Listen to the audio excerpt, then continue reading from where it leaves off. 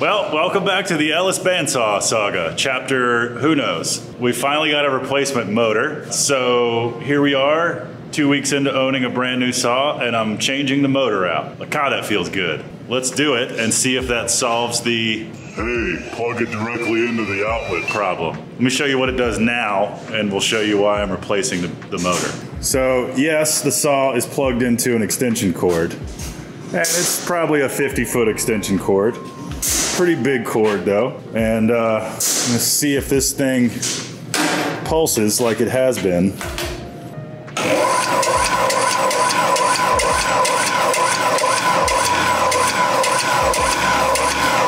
It's getting worse. So that's what it's doing. Once it's going, it runs fine. And then once you restart it, problem's not nearly as bad and it gets kind of progressively better as you use the saw. Now, Frank from Arc 3 and I have plugged this thing directly into a 125 volt outlet that is on a 20 amp or 30 amp breaker that powers all sorts of other machines just fine.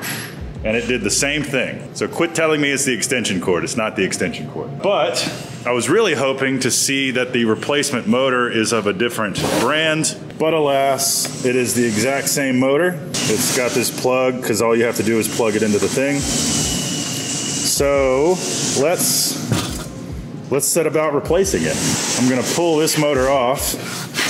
Looks like there's two set screws here in the step pulley. There's a wing nut here and uh, some fashionable thing to this. I believe this is to loosen the tension on the motor and then you got four bolts to unbolt it. And this looks flush, so I'll remember that and set the new one up just the same. So let's do that. To unplug the saw, okay, for all you safety officers. And get a socket set and some Allen keys. And as Wyatt showed me, needle nose pliers.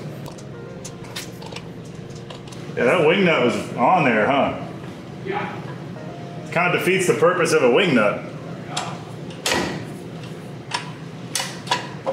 So that thing releases the tension. So I can take this belt off. Okay. Now we can take that pulley off and unbolt the motor. Looks like I might have to take these cotter pins out and take this pivot pin out to get to the motor bolts easier. Guessing, guessing this Allen key is going to be metric because it is a Chinese motor, but maybe I'm wrong. Nope, it's metric. It's kind of loose too, but okay. I might need a better Allen key here. Let's see what the manual has to say. Ellis miter bandsaw installation and operating instructions, parts list, removing and replacing blade, vertical sawing position, saw adjustments. So there's nothing in here about replacing the motor or removing this pulley. So we're on our own.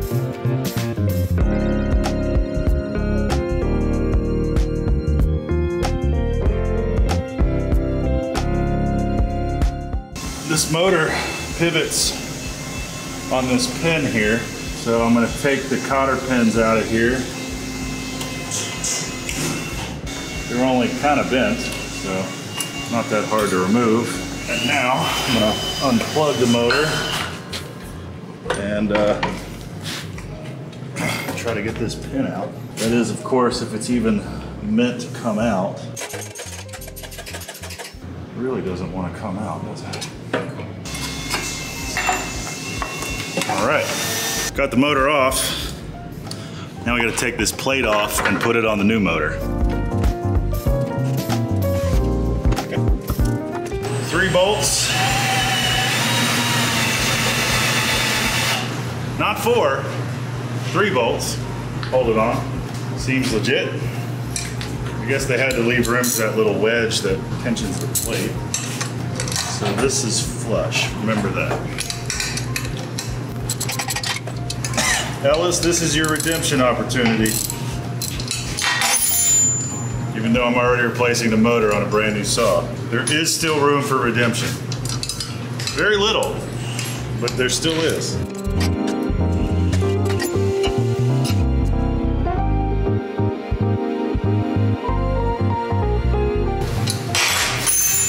Now just do everything in reverse.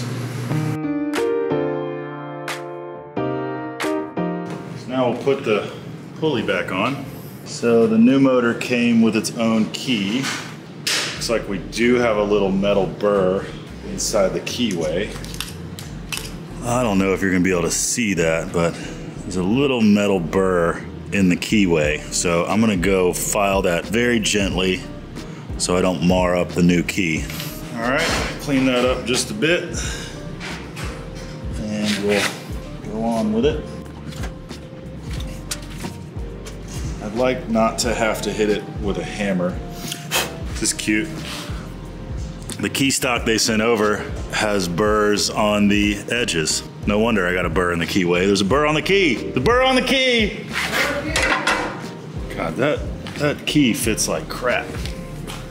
Okay, I've inserted the key in the pulley all the way. I'm sure there's some machinist out there saying I shouldn't do that first, but whatever. Just go on. Now, okay, that went on a lot better than before. So, I might have gone too far. Sorry. Fits too good. I'm hitting, hitting up against this metal casing. So, pull it out just a hair. There we go. Something like that. About the same clearance as that one. Go a little bit more because the motor motor has adjustment whole thing can slide around. So that should be okay. All right, so let's tighten our set screws. Set screw, oh, let's see. I need a hammer to drive this key in.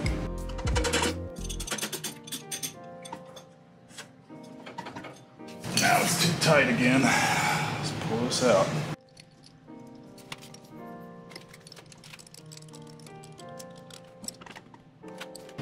I'm gonna call that good. All right, so tighten down this one. That pushes the key into the keyway. And then tighten down this one. This one engages in the shaft. Nice and tight. Run the belt back on. Motor's all the way down. Put it on the second pulley. Then step up to that pulley. Now we tension it and tighten the wing nut down. There it is. Motor has been replaced. Everything spins freely. I will plug the motor plug under here. Plug this, plug that in there, I guess. Why would they have the plug facing down when the motor is on top? Is. Was gonna come get you for this. Now,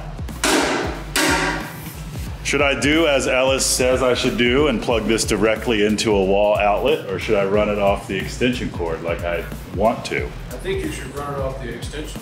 I kind of want to plug it directly into the outlet for the first startup, First start up. just to in eliminate all the variables. I'll roll it back there.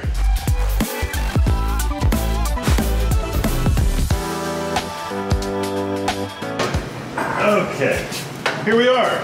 Outlet, drill press that's currently plugged into the outlet. Look at that. No starting issues there.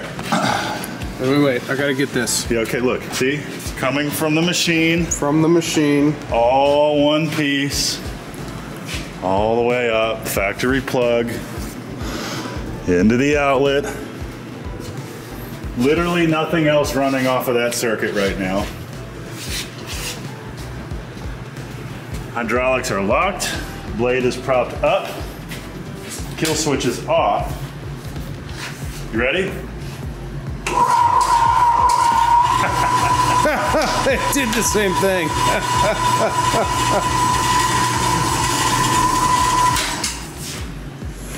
It still sucks. Try it again. Yeah. Well, that's what the last one did. The last one would stumble the first time, and the more you use it, the, the better. Look at how well balanced this motor is.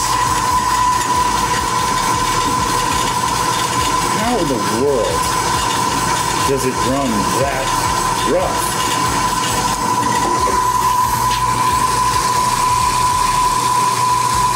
Even that feels smoother than the motor. My belt alignment is perfect. Here, I'll give you a benefit of the doubt. I will loosen the tension just a bit. People keep telling me like, take the belt off and see if the motor starts without load. Well, the point of the whole thing is with the load. Well, also, this is a, a worm drive gearbox. Like, that's no load. I think the motor is directly driving the saw. Also, as far as wing nuts go, this one is extremely difficult to get off.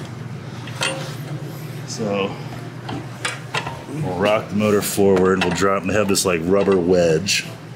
So we'll put it barely on. Okay. It does feel a little looser.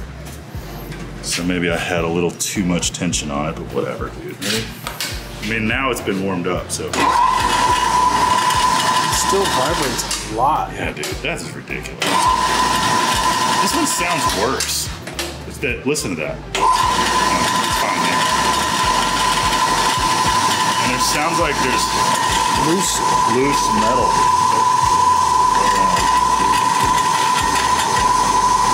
Oh, look, look at this. Look at this. Straight from the factory. I'm sure of this one. That's crazy. Oh, that just cut the sound out. Huh? That cut that vibration, that uh, the metal vibrating. Is that what did it? I mean, the whole thing is still vibrating, but Yeah, it's not rattling, I guess. Now I'm gonna check all the damn screws. Apparently, I need to be Ellis's quality control guy.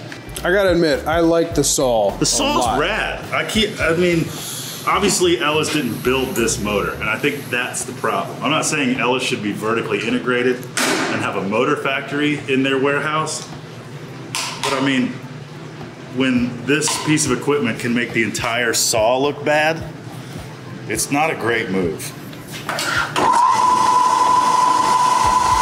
I mean, can you see that? Moving?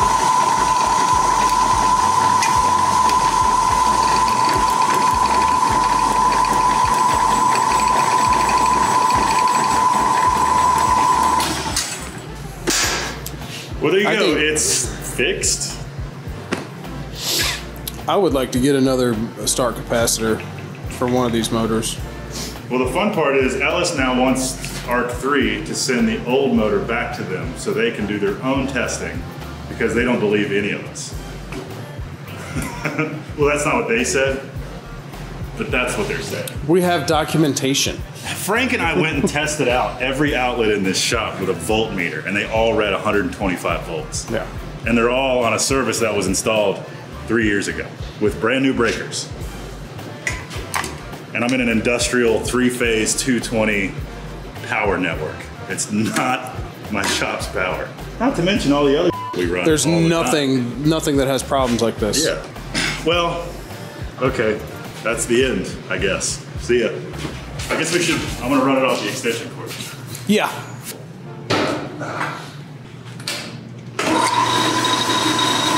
Oh, look! It acts the same. Shocker. Goodbye!